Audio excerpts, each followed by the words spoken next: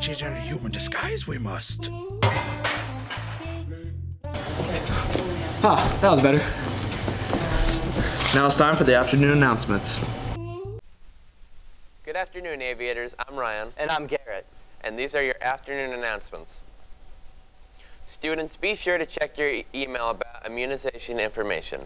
If you are not up on your immunizations, you will not be able to attend in-person classes after October 30th. The, new, the nurse could also tell you the details of what you have and what you might need. The dentist is coming to school on October 21st and 22nd. If you would like to sign up for a free cleaning, fill out the paper form as soon as possible. East of Chicago Pizza and Subway are hiring. Stop by the guidance office for more information and ask about a work permit if you are under 18 years old. Don't forget, if you need soap, deodorant, toothbrushes, or other health or hygiene items, there are some stations on the second and third floors where you can take what you need. If you are interested in donating items to the station, you can stop by the JTC program to give them items. The swim team is recruiting members. If you're interested in being a part of the swim team, contact Ms. Kunzman.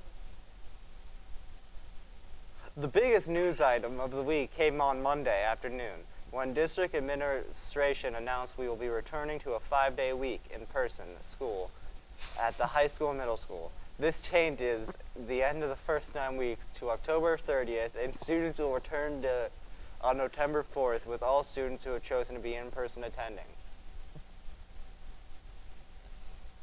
With the return to five days a week, students can also change from all remote to all in-person or all in-person to all remote learning. If you would like to change to being all in-person from remote or being all remote from in-person, your parents or guardians must fill out the commitment forms posted online. The third annual Pumpkin Palooza will be taking place Sunday, October 25th from 4 p.m. to 6 p.m. in the South Lobby back parking lot. Come carve and or paint a pumpkin or just hang out with friends in a completely safe environment. Everything is free to all AHS students. There will be prizes for the best decorated pumpkins and the best Halloween themed PPE. Face masks are required. Sponsored by the Alliance High School FCA. See Mrs. Chunat with any questions. Halloween is around the corner and the City of Alliance is moving forward with Halloween celebration plans. Here's Jarrett in an interview with Mayor Alan Andreani about Halloween. Uh, my name's Jarrett. Uh, I'm from Alliance City Schools, and I'm here with uh, the mayor to talk about Halloween. Um, how are you doing today, Mr. Andreani? I'm very good, sir. How are you? I'm doing good myself. Uh, to start this off, I just want to ask what went into your decision for this year's Halloween due to COVID? Well, uh, in conjunction with uh, other city officials and with the uh, primarily the health commissioner, we looked at what our options were, uh, whether or not we would do a, a mass trunk or treat for say, say at Silver Park or some other location. And one of our concerns was that we would have such traffic tie-ups uh, and then when we saw the governor's uh, list of things that we were recommended to do, we thought we could do a nearly traditional trick or treat like we've done in the previous years. And with a few modifications and a few recommendations, we uh, decided to go ahead with that plan. We're just advising caution to everybody given the situation right now. Well, the things, first of all, people need to remember is when you're going trick or treating, uh, even though you're outside, you still should be wearing a mask. Mm-hmm. Uh, and unfortunately, a Halloween mask that goes with your costume really doesn't do anything to protect anyone from from COVID nineteen. Yeah. So a mask that would do that and, and protect you is first the highest recommendation. Second is maintain social distance between uh, home groups. In other words, your family groups. Stay together. Don't go off in groups with people that aren't uh, familiar to you or known to you. Uh, that's the way this transmission occurs. And stay at least six feet apart. When done, uh, be sure you wash your hands. We're also advising, as the governor is, uh, wash down the outside of uh, any treats you receive, the packaging. Uh, don't uh, don't just tie into it. And you know you can wash your hands, you can Purell your hands, but then if you touch something that's touched something, like a wrapper, you could have a problem. And then the final question everybody wants to know What do you think about Alliance City schools going back full time? Well, one of the things that I uh, I thought about, and I, I, I talked to Ms. Shar about this, oh, maybe a month or so ago when the schools were uh, just starting mm-hmm. to look at going back. I think I think the way the Alliance schools are doing it is is a good way.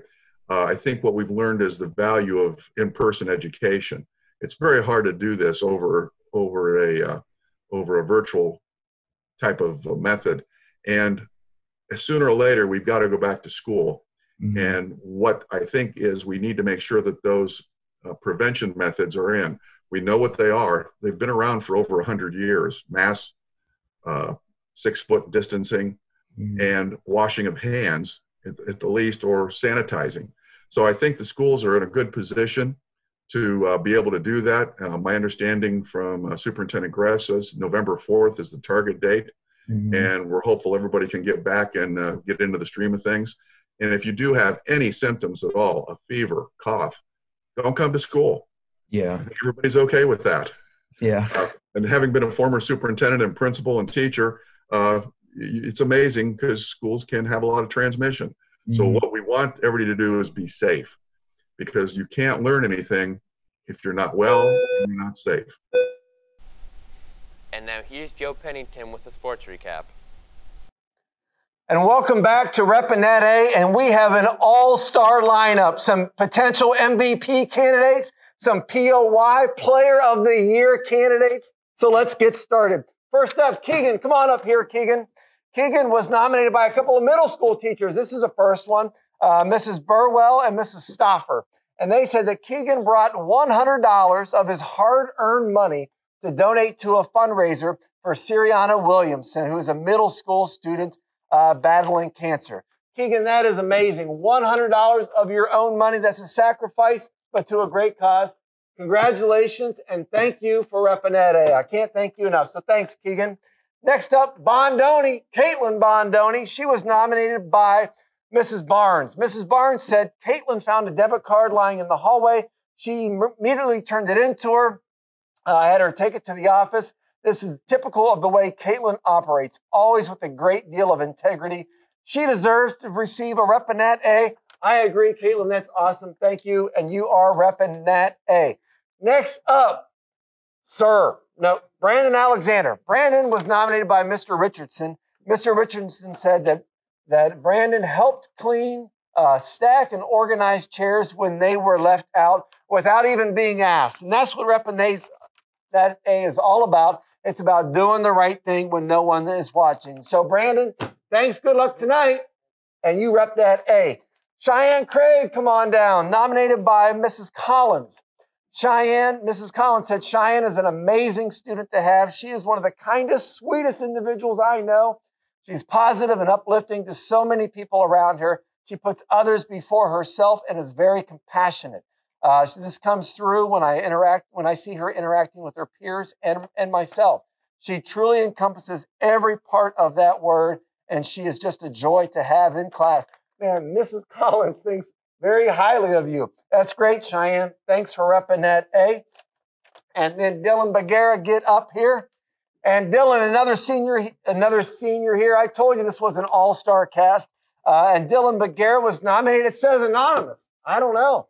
Uh, hopefully, it's not the anonymous on social media. It's a little creepy. Uh, but someone said that you are always willing to help other students and you come to class with a positive attitude every day. And that's great, Dylan. I love to see that, especially out of our seniors. And you rep that A. And if that PA announcer screws up your name tonight, I'm going to say something to him, all right? Good luck tonight. Uh, and there's one more. A student is not here. It's Levi Cameron. And Levi says this, he was nominated by Mr. Peters his welding instructor. And he said, Levi has done an outstanding job of helping myself as a new teacher. Uh, a couple of weeks ago, we had a fire drill. I pulled Levi to the side and asked him to help me out uh, with the drill. And he said, absolutely, Mr. Peters, I got this for you. He briefly exp- explained to me where our career tech welding class goes and volunteered to lead the juniors to the tennis court. And in the meantime, he grabbed his roster sheets, locked the doors, and did a full sweep of the lab uh, to the tennis courts to proceed. Levi's done an outstanding job, and he's helped uh, on a couple of occasions with assisting the juniors and help on welding tips and tricks and fielding questions on expectations coming out of, of the seniors. Uh, he always maintains an upbeat, positive attitude and as always offers assistance and is a pleasure to teach. So thank you, Levi. Again, I told you this was another great group of students at Repinet A. You are seeing that they are doing the right thing when no one is watching. They are supporting others and they have a positive, upbeat attitude. Thanks, and let's continue to rep that A. In sports, the volleyball team played Warren Harding in one verse, one in three. The scores were 28 to 26, 25 to 22, and 24 to 14. The dig leader was Reese Grise with 30, kill leader was also Reese Grise with 25, and the assist leader was Emma Reese with 30. The next game is tonight at Carrollton. In football, the football team lost Friday night versus Hubbard in a very close, hard-fought game. This game will end their season. Cross country ran at over, at Tuslaw over the weekend. The boys took fourth out of 11, and Kyler Cameron ran a personal best. The girls took ninth out of 10, and they will run next at Salem in the EBC race. Thank you for watching, and have a great day. Now it's probably time to get back to our normal form. Mm-hmm.